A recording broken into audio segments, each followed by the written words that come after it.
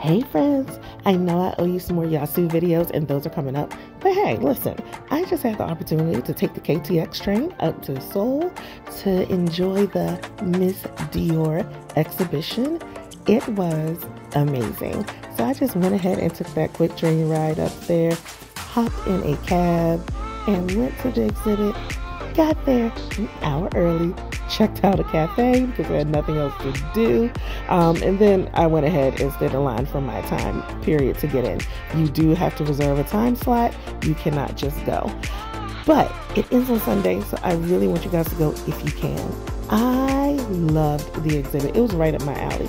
I love art anyway, but to see these dresses that Natalie Portman got to wear, they are so delicate and refined and gorgeous and womanly and just everything that I aspire to be.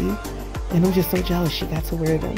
Um, but even beyond like the dresses that she wore, the art pieces, I was floored because these art pieces are like, if I could put me, how I feel on the inside, on a canvas, this would be it. This would be it especially with the touches of the gold and the crystal and all of that. This is me. I couldn't stop staring at these pieces. I really want to own a home and just make sure that every floor has one of these pieces on it because I fell in love. The colors, the textures, all of it. I thoroughly enjoyed it. Plus, I hadn't been to an art exhibit in quite some time. So I was like, oh, this is amazing. And yeah, you guys, I loved it. The rest of the exhibit was just as glam. Look at all of these flowers. I felt like I was in springtime paradise. And then look at this diffuser. It's you hold the button and then it puffs out scents of Dior. And I really need one in my home that I can just puff at any time and make it smell like Dior perfume. Is that not the best? I absolutely love that. And I love that how they had all of the perfumes lined up like this for you to try them all out. I fell in love with Dior scents I didn't even know were my scents. You know what I mean? And they were my scents.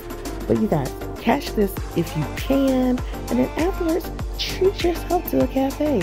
I found this cafe on Naver. Look how cute it is. Look at these desserts. I didn't have any. I had a coffee because I can't eat this much sweets. I don't have a sweet tooth like that. So I kept looking for the savory things and there just wasn't enough savory for me. So I skipped that and I had uh, avocado instead. And that was really, really good. But yes, go enjoy yourself. Spend the day enjoying yourself. Enjoy a new cafe. This beautiful cafe right here was about maybe 15 minutes away from the exhibit, and I will leave the details down below if you decide you want to go visit. Anyway, I hope everyone's doing great, and I will see you in the next video. Bye!